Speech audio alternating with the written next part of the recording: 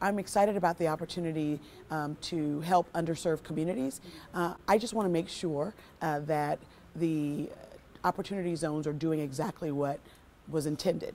That it was an opportunity to get investors, private investors, to invest in public projects um, and to invest their capital gains uh, in areas that are underserved. And unfortunately, the rulemaking by the Treasury Department did not include any special reporting requirements. So how do we know that this, this capital, this excess capital, is actually being invested in underserved communities? So we're excited about the opportunities that Opportunity Zones actually um, will afford underserved communities. My bill, in particular, wants to make sure that these investors do report where they're putting their money, how many people they're hiring locally, um, what the economic impact are to the communities that, that uh, these uh, projects are located in.